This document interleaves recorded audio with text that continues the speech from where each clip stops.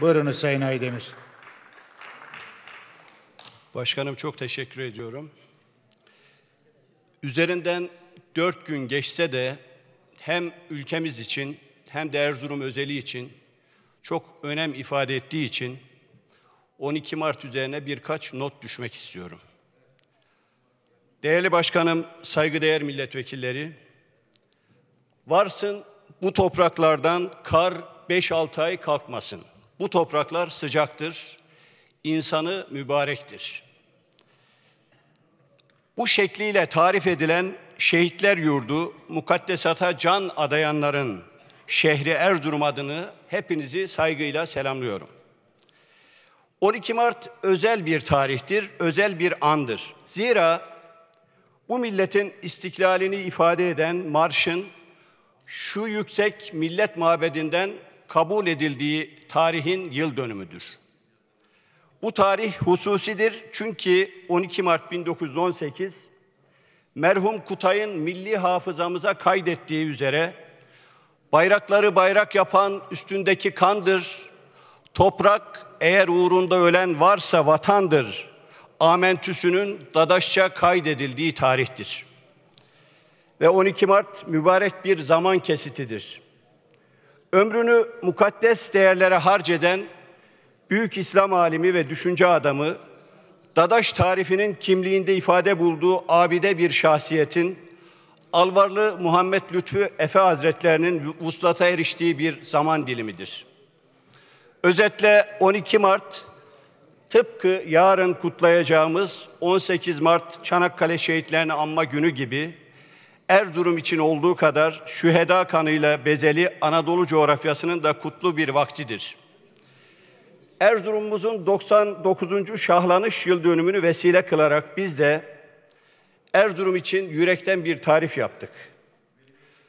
Tarif her ne kadar Erzurum özel için olsa da hakikatte bütün bir vatan coğrafyasını ifade etmektedir.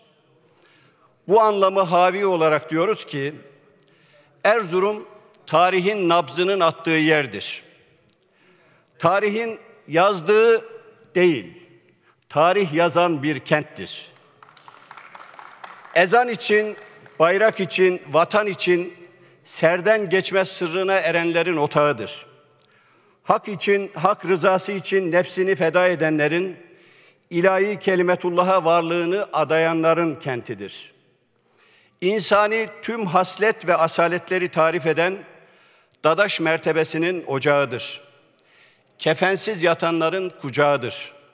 Erzurum üç hecelik bir isim değildir. Erzurum milli ruhun kaynağı, vicdani ve sosyal şuurun menbaı, iman ordularının saf tuttuğu bir mekandır. Hasılı Erzurum, tarihin önünde ayağa kalkarak edeple yaklaştığı mübarek bir yurdun adıdır. Şehri Erzurum'dur, şehri azizdir, şehri mübarektir. Erzurum İstiklal Marşı'na özel anlam kazandıran bir ahenktir. Bütün övgüler Erzurum tanımlamasında eksiktir. Zira Erzurum bir hilal uğruna batan, güneşlerin doğduğu bir kenttir. O yüzden 12 Mart sıradan bir tarih değildir. 12 Mart dolayısıyla milli tefekkürümüzün müellifi Mehmet Akif Ersoy'u bir kez daha huzurlarınızda saygı, şükran ve minnetle yad ediyor. Onun vurguladığı değerlere sadakatten ayrılmayacağımızı yeniden ahdediyoruz. Bu bapta 18 Mart Şehitler Günümüzü de tebrik ile, şühedayı rahmetle, minnetle anıyoruz. Ve bir temenni ve bir hedefimizi de bu vesileyle kayda geçmek istiyorum.'' Malum Erzurum 2011'de Dünya Üniversiteler Arası Kış Oyunlarını başarıyla tamamladı. Bu sene de Avrupa Gençler Olimpik Kış Oyunlarında başarılı bir süreç yaşadık. Öyleyse yeni merhale, yeni hedef 2026 Dünya Kış Oyunları Olimpiyatları olmalıdır. Şu an cazibe merkezleri bağlamında şerik olduğumuz Erzincan, Bayburt, Gümüşhane ile birlikte Kars'ı da kapsayan bir hinterlandda bu oyunları pekala başarıyla gerçekleştirebiliriz. Bu noktada Yüce Meclisimizin bu hedefimize desteğini bekliyoruz. Sayın Başbakanımızın çok teşekkür ediyorum. Sayın Başbakanımızın çok berceste bir ifadeyle her doğan için millet huzuruna getirdiğimiz ülkemizi çağlar üzerinden aşırtıp muasır medeniyetler seviyesine getirecek olan Sayın Aydemir size de bir dakika ek süre veriyorum. Buyurunuz. Başkanım çok teşekkür ediyorum.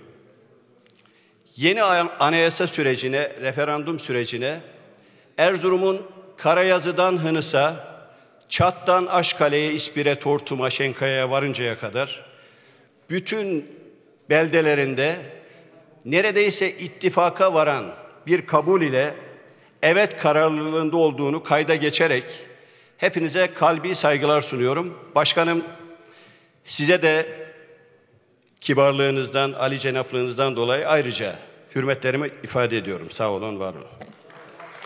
Çok teşekkür ederim. Biz de size bu güzel konuşmanız için teşekkür ediyoruz. Sayın